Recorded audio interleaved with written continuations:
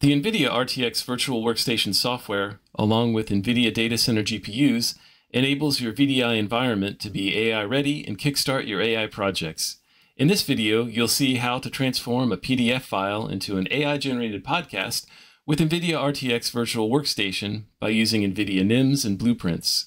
At a high level, we use multiple AI agents to extract and convert the content from the PDF file into a markdown format.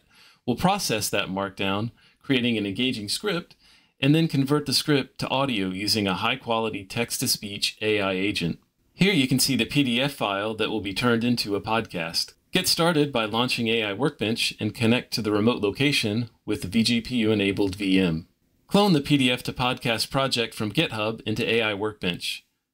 This will pull down the project to your RTX Virtual Workstation VM and the project will start to build.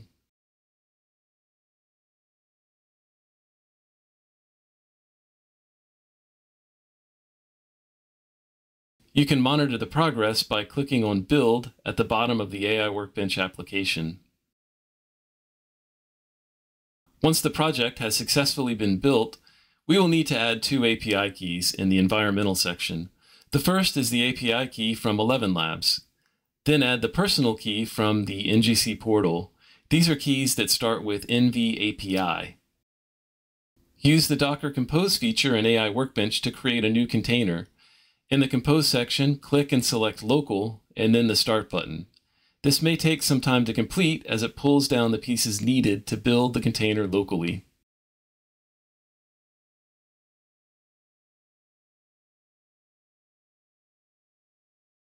With NVTop, you can verify the model is being loaded into GPU memory. Once you see information on token generation in the Docker Compose log, the build has completed successfully. Click the Open Front End button. There are two boxes for PDF files.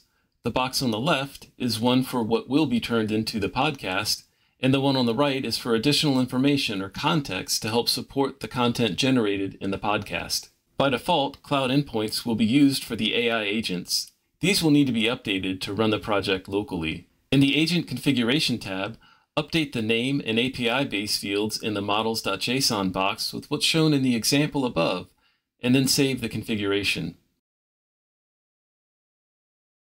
Click Generate Podcast to start the AI pipeline. Progress can be monitored in the Outputs window. The time it takes to process will vary depending on the size of the PDF and supporting documents used. Once complete, there will be an option to download the MP3 recording of the podcast, along with a transcript and a generation history, including the prompt used to start the AI pipeline. Switching back to AI Workbench, start the Jupyter Notebook.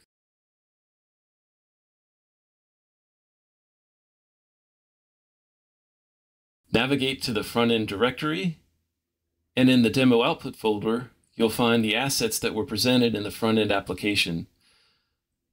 Double-clicking on the transcript file will display the script of the podcast, including the line spoken, along with the speaker. In this video, we deployed the PDF to podcast AI blueprint in a virtual machine using NVIDIA vGPU software. Part of the NVIDIA vGPU solution, NVIDIA RTX Virtual Workstation allows organizations to leverage their existing data center to accelerate AI development while providing benefits such as GPU sharing, data security, and centralized manageability.